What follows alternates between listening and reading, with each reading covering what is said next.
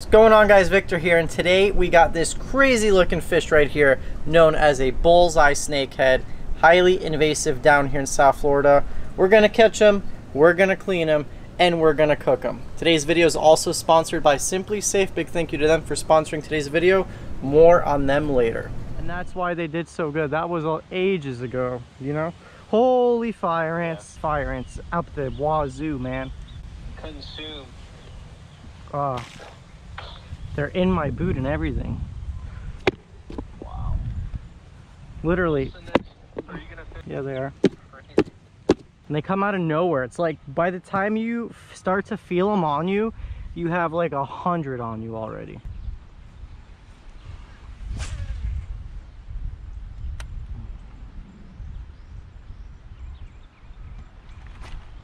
Oh yeah, good one.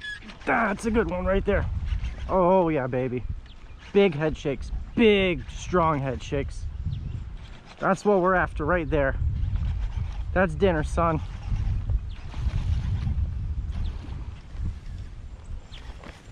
Now we gotta land them.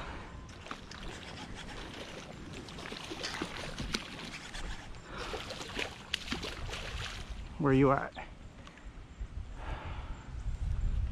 Okay, are we gonna go for the flip? We're gonna risk it. He looks like he's hooked pretty good. Solid snake right there, guys, solid. But since I only have one, I'm not gonna risk it. That's what I live for right there.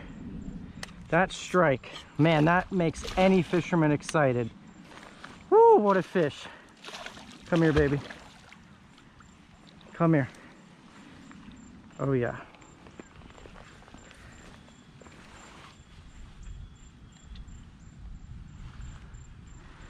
Uh-huh. Uh-huh. It's a chunky one.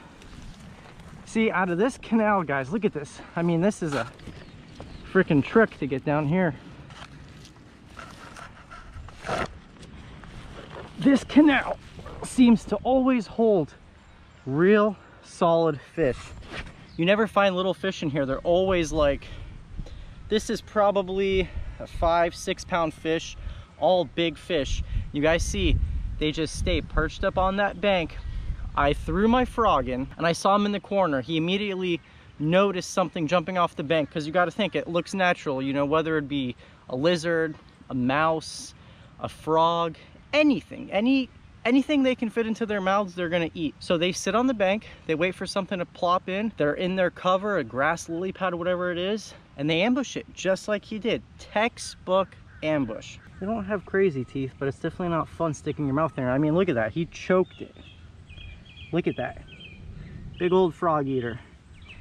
But I mean, absolutely inhaled it. And you always gotta wait a little bit before you set the hook.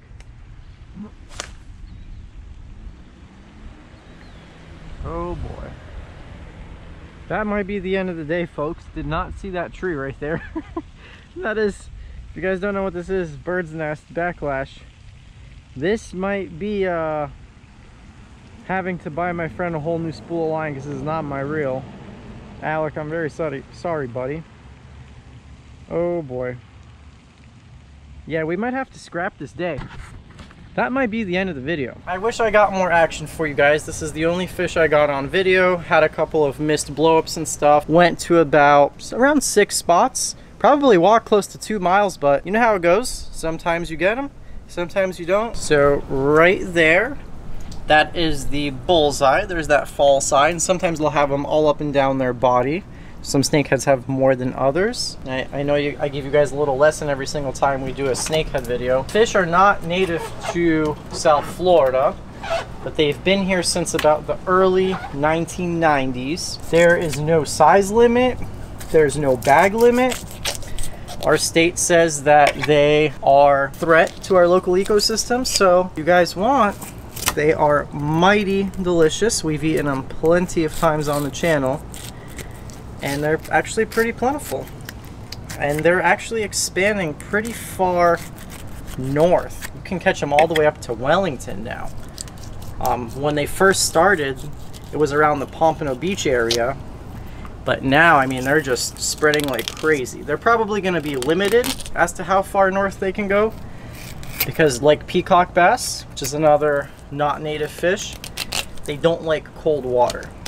They're definitely going to be limited in that sense. Great fighters. There's also another type of snakehead, the northern snakehead, which you guys in Virginia, I think parts of New York have. Those are cold water tolerant snakeheads. We don't have those down here. Wish we did. They get a, a, little bit bigger than our snakeheads. Would love to make a trip to Southeast Asia, which is where these fish are actually native to. I believe Pakistan East is where snakeheads are from.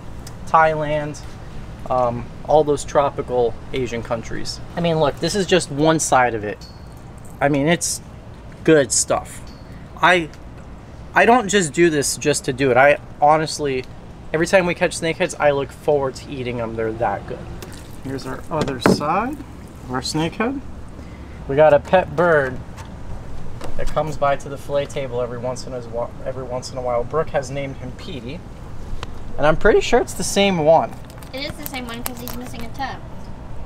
Okay, let's see. Look, we got a little piece. Ah, of... there he is. Yep. Ready, Petey? Oh, he's right on it. Is he missing a toe? Yep. See on the right foot? He's missing that little half of a toe. Yeah. He's a pretty cool little guy. He's a tricolor heron. He probably goes from fillet table to fillet table and just makes his rounds every single day. Kind of like a little pelican. Super slimy fish, I'm telling you. Skin's very similar to a snapper.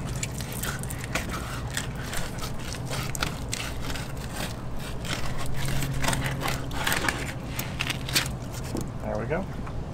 Real thick scales. It is a really good looking fish. Very small bloodline. He jumped up on the fillet table and he thinks that that piece is for him. If he gets it in the water, Brooke. Petey, that's not for you. That's way too big for you, buddy. Before we move on, a quick message from today's video sponsor, SimpliSafe. SimpliSafe is an easy to set up, reliable home security system with 24-7 professional monitoring. With all the fishing and traveling that Brooke and I do, having home security was really important to us. Setup was incredibly easy, everything came in a nice little box. You got video doorbells, glass break sensors, motion sensors, water sensors, carbon monoxide detectors, and best of all, most of this is all based on a peel and stick system. All of these sensors are linked to a base station, which is linked to a keypad so you can choose whether you're home, away, or you can turn the system off. SimpliSafe even has an incredibly easy to use app. I have mine linked to my video camera that came with the SimpliSafe system so I can see exactly what's going on in my house even when I'm not at home. So let's say one of the entryway sensors or motion sensors goes off while you're not home, the monitoring center will call the police if it's alerted to anything. If you guys are interested in learning more about SimpliSafe, you guys can go to simplisafe.com slash landshark. I'm also going to have it linked below in the description. Big thank you once again to SimpliSafe. Now let's eat. So here is the snakehead, portioned up, three, four ounce pieces right there. Absolutely beautiful piece of fish. We're gonna pan sear it outside on the side burner. Do a little mix of spices. We're gonna do garlic powder, because you guys know I put garlic powder on everything and only one side. These aren't very big, thick fillets, so you can get away with just seasoning one side. Coriander, some chili powder, and then some ginger. Every time we catch snakeheads or we go to cook snakeheads, I always think Asian because that's where they're from. So we really like to incorporate those flavors. So we're gonna do a little pan-seared snakehead, a little quick sweet and sour sauce. This is just the juice from a can of pineapple.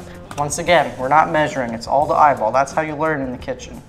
You gotta taste as you go. So ketchup, apple cider vinegar, that's gonna be the acid, so that's that sour in the sweet and sour. About that much. We got Laura and Johnny with us tonight. You guys have seen him in past videos. Johnny's a guide out on Lake Ida. We caught clown knifefish together, peacocks together. They've yet to eat snakehead, so I'm excited for them to try it. Normally, I'm a big generic store brand type of guy, but do not ever skimp out on real soy sauce. Even though I know this is less sodium and this is the real sodium, this guy has like no flavor. Don't be cheap with your soy sauce. Get the real stuff. So we're gonna do some soy, a little bit of sesame oil. Let's do like a, not even a whole teaspoon of sesame oil. And you get the world's smallest whisk. You gotta do some brown sugar. There we go. This is cornstarch mixed with about a table, well this is about a tablespoon of cornstarch mixed with some cold water.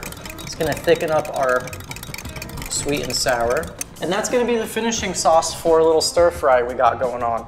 We have some carrot, onion, there's some red bell pepper in there, yellow bell pepper. We're gonna stir fry those with some ginger and garlic and then finish it off with this really good sauce that's gonna give it a nice thick glaze. Non-stick pan, gonna go in with some oil. It's smoking. Now you take your seasoned side of the fish far away from your camera woman and go straight into the oil like that.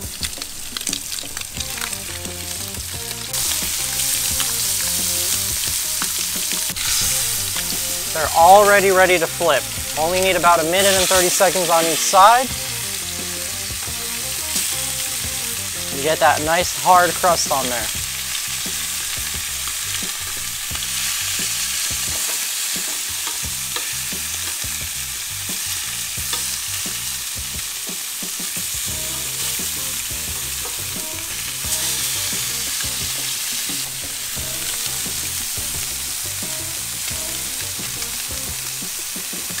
Get our nice hot wok. Gonna go in with some oil. Okay, and with the veg. So we just, real high heat, we wanna char them a little bit. You're not really fully cooking them. I like a nice crisp vegetable for my stir fry. Nice crisp onion, crisp bell pepper.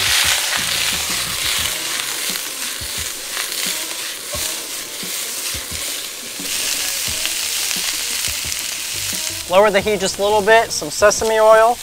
We're gonna add our ginger and garlic now. And then now that sweet and sour sauce, lower the heat a little bit more. We got a lot of, oh yeah, smells so good. Should have made more.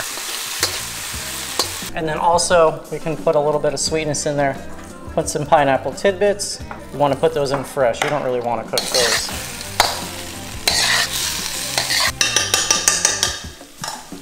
We're gonna toss some cilantro in our black rice.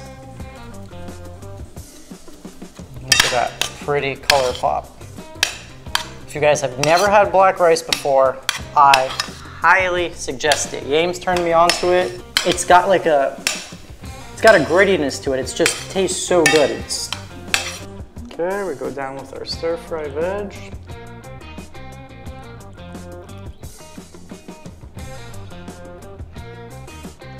Fish.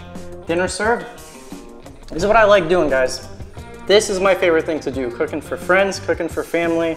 And one day, hopefully, I know everyone says a restaurant, cooking for subscribers. Cooking for the world would be cool. Fresh fish.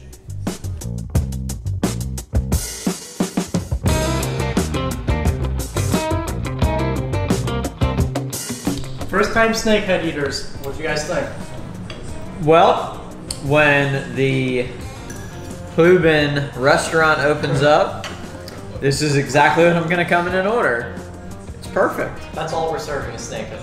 Snakehead. as long All the as it, exotics. as long as it's with stir, uh, stir fry, you got me sold. It's very good. Thanks, Johnny. Considering where snakehead comes from, I'm surprised at how light it is. It almost tastes like a a saltwater fish. It's really good. I'm uh, very impressed as always. Snakehead is one of those fish that a lot of people are like, ew, you eat snakeheads because just of the body of water that they come from. And most of the people probably saying that, you know, haven't tried it. And it's a phenomenal fish. And the stir fry Victor whipped up is amazing. Like, I would. I would have that stir fry like every night of the week. It is so good. I'm glad that you caught one today on your little excursion by yourself. So good job. I will take gladly swap out anyone, all their yellowtail snapper for snakehead. I would 100% take this over a lot of saltwater fish, including something like a yellowtail snapper. It's so delicate and just beautiful, got a really good flavor, real fine flakes yet super firm. Got that um, great pan sear on it. You know, you got that char, and then on this side it's real delicate. Super moist. It's just very easy to eat. I'm really happy with the dish. I'm happy these guys came over. Thank you very much for having us. Of course. I hope you guys enjoyed today's little solo adventure. I know it wasn't a, you know, a big grand endeavor and we didn't catch a lot of fish, but you know, sometimes that's what it's all about. We got a great meal, fed some friends with just one fish. So you guys go out and do the same.